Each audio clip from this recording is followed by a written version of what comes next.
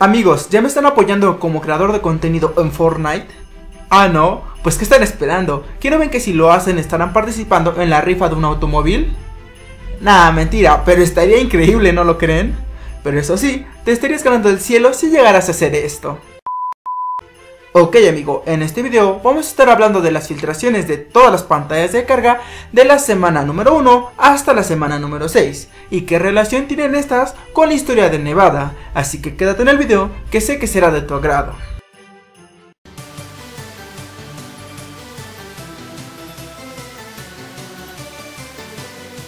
Psst. Hey tú, si tú, ¿ya te fuiste por las palomitas? Si no lo has hecho, ponle pausa y ve por ellas.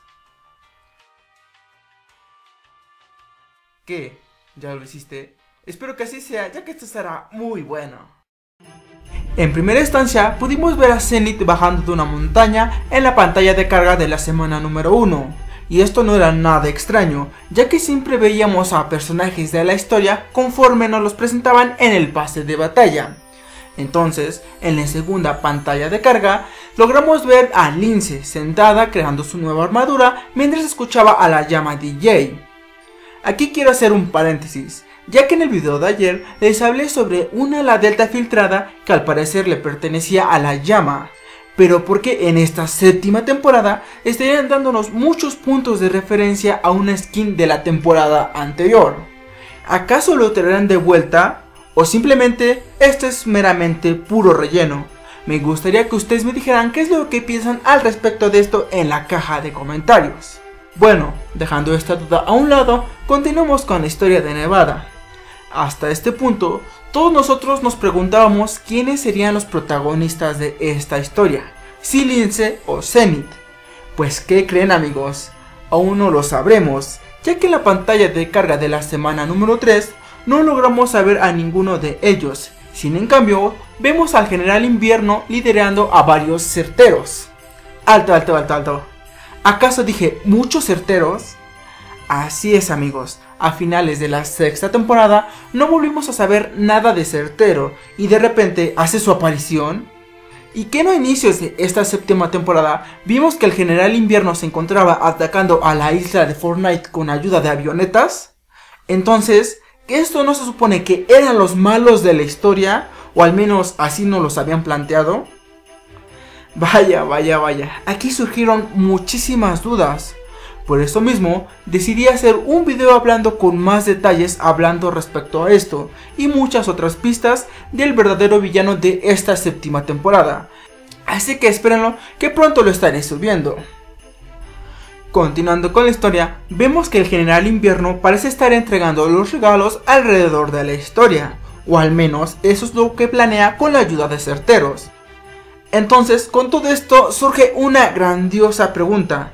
¿Por qué el personaje que nosotros conocemos como certero llegó a la isla antes que el iceberg y que el sargento de invierno? O sea, ¿cuál era su objetivo? ¿De verdad iba tras calamidad o venía avisando de la llegada del invierno a la isla? O sea, no sabemos absolutamente nada respecto a Certero desde el inicio de esta temporada, ni cuáles eran sus planes, ni qué pasó con Calamidad.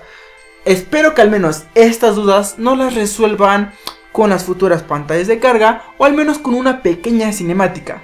Pero espero que no nos dejen con esta duda como lo han hecho con las temporadas anteriores, como lo fue con Deriva. De verdad espero que lleguen a solucionar esta duda que tengo, que de verdad la tengo muy clavadita. Bueno, continuamos con la pantalla de carga de la semana número 4. Aquí vemos de nuevo a un personaje del pase de batalla, pero anda viajando con el nuevo objeto de transporte de Fortnite que pronto lo sacarán. ¿Y qué creen? Efectivamente, no hay rastro alguno de nuestros supuestos protagonistas. De aquí no podríamos estar sacando más cosas importantes de esta imagen, así que sigamos. En la pantalla de carga número 5 veremos algo bastante curioso, ya que hace bastante tiempo se hablaba de una cueva que le pertenecía al Yeti, esto hasta el momento era solamente especulaciones. ¿Y por qué digo hasta el momento? Bueno, la pantalla de carga de la cual estoy hablando es la siguiente. Aquí logramos ver que efectivamente la cueva le pertenecía al Yeti.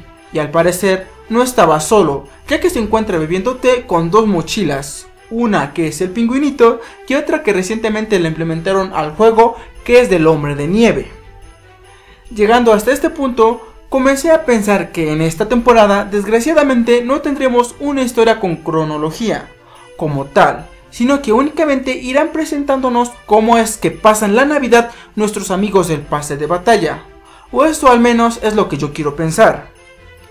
Esto se repite en la pantalla de carga de la semana número 6. Aquí vemos una skin que muchas personas amaron y supuestamente ella ahora está a cargo del puesto de hamburguesas. Y si son muy observadores, en la silla se encuentra una skin que de igual manera se les mostré en el video de filtraciones que subí. Y esto no lo es todo, porque si miran en la parte superior izquierda podremos ver la cabeza de tomate, que se encuentra observando detenidamente qué es lo que pasa en el restaurante con un telescopio. No sabría decirles el por qué se encuentra haciendo todo esto. ¿Estos dos personajes acaso tendrán algún tipo de relación amorosa o algún lazo familiar? ¿Quién sabe? Pero bueno, continuemos dejando estas dos preguntas a un lado. Como lograron ver, en ninguna pantalla de carga se repitió un personaje como se solía venir manejando en las temporadas anteriores. Es por ello que llegué a la conclusión de que simplemente estos personajes nos muestran cómo es que conviven con sus amigos en las fechas de Navidad. También quiero pensar que en las pantallas de cargas finales estarían apareciendo el rey helado, causando una desgracia para acabar con la Navidad de nuestros amigos, y así dar inicio a la octava temporada de Fortnite. Aún falta mucho tiempo para lograr saberlo, pero simplemente quería decirles cuál era mi teoría, por eso mismo, también me gustaría que aquí abajo en la caja de comentarios ustedes me dijeran qué es lo que piensan de esta historia de Nevada. Si les gusta o para nada les está gustando, si prefieren una historia con cronología y que tenga mucho más sentido, o les está gustando cómo es que muestran pequeñas imágenes donde están conviviendo nuestros amigos del pase de batalla y cómo es que están llevando a cabo su Navidad. Yo sinceramente prefiero una historia que tenga cronología, que tenga mucho más sentido, como lo fue con la historia de Deriva. Claro, ahí nos dieron un final inconcluso, pero aquí podrían estarlo mejorando. Pero al parecer no será el caso, pero pues, seamos optimistas, ¿vale? Me gustaría, como les dije, que en la caja de comentarios me dijeran todo esto y ya saben que a mí me gusta estarles respondiendo a la mayor cantidad de gente posible. Claro, algunas veces se me llegan a pasar algunas personas, pero pues nadie es perfecto, siempre trato de hacer las cosas de una mejor forma posible. Ahora, dicho toda la historia de Nevada, me gustaría darle paso a los saludos que hicieron la dinámica del video anterior de una forma correcta. Comencemos, ¿vale? Un gran saludo para Martín Gamer, David Spider, Jonathan Castro, Diego Pérez. Otro gran saludo para Aaron Oliva, Troll Z123, Cristian Valdés, Jesús Morales. Otro gran saludo para Julio César. K. Sire Eric. Aton 824. Said Alcantara. Joshua Cano. Felipe Emanuel.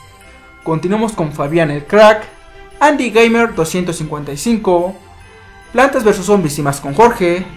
Mochito. Canelo Pug. Y finalmente el último saludo para este video sería para Benja García.